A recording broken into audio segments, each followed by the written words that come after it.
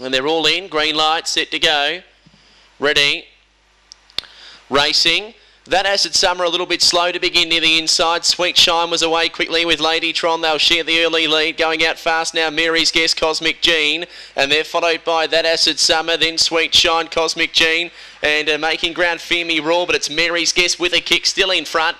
And Mary's Guess goes all the way, goes on to beat Fear Me Raw, Sweet Shine, and Don Shy Girl late along the rail. Followed by That Acid Summer, Contemplate.